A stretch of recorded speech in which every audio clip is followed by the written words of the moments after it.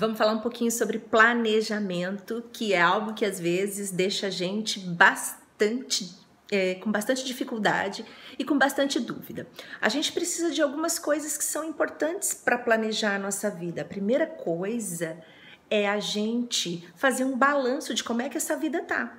Então coloque, né, no papel seus pontos fortes, seus pontos fracos, com relação à sua vida pessoal e à sua vida profissional, à sua família, o seu relacionamento, a sua qualidade de vida. Isso é muito importante. Pontos fortes e pontos fracos. Depois, faça uma reflexão e permita-se sonhar. Permita-se pensar no futuro, desejar o futuro. Como você se vê? Como você se visualiza daqui a alguns meses, daqui a um ano, dois, três, cinco, daqui dez anos? Como é que você se vê envelhecendo? Qualquer coisa que você deseja, que você sonhe para o seu futuro, começa no seu presente bem vivido. Depois, o nosso maior passo, depois de escrever essa visão que a gente tem da gente no futuro, é muito importante que você pense na sua missão de vida. Pelo que você vive? O que motiva você? O que você está disposta a entregar? Essa missão de vida é aquilo no qual nós acreditamos, que nos faz agir. A terceira coisa muito importante são os seus valores. Os seus valores de vida são externados pelas suas ações. O que você costuma fazer no seu final de semana? Como você ocupa o seu tempo livre? Você se diverte? Você trabalha mais um pouco? Faz o dinheiro render? Você estuda? Você fica com a família? Você busca segurança, conforto, qualidade? Esses são valores que norteiam a sua história, a sua vida. E se você está em dúvida porque você nunca parou para pensar nisso, você não é a única pessoa.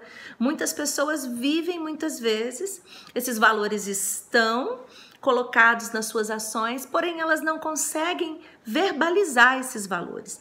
Então é muito importante que você faça essa reflexão. Para planejar, você precisa parar, você precisa se permitir sonhar se permitir desejar. Pense e escreva. Escrever é um dos nossos maiores aliados, seja no lápis ou no computador. O outro passo muito importante depois de você escrever, a sua visão, a sua missão. Muito importante depois de você escrever a sua visão, a sua missão, o seu objetivos de vida, objetivos que norteiam a sua vida financeira, objetivos que norteiam a sua vida amorosa, a sua qualidade de vida e principalmente objetivos que te dão propósito, que te dão sentido.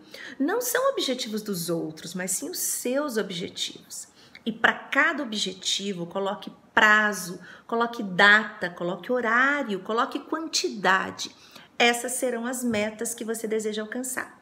E aí então comece a pensar formas de fazer esses objetivos acontecerem e essas metas serem atingidas. Vale pesquisa, leitura de livro, reflexão e até uma boa conversa com um profissional ou uma pessoa que você confie, que você realmente tenha confiança. E depois de você traçar algumas estratégias, lembre-se que o orçamento é sempre muito importante, tudo deve caber no seu bolso. Seja aquilo que você tem que poupar, seja aquilo que você quer ganhar. E aprenda a se divertir, porque quando você começa a ganhar com planejamento e você começa a perceber que é muito melhor do que ficar batendo a cabeça, indo e voltando, planejar se torna uma ação, um hábito na sua vida. Então eu quero convidar você a planejar.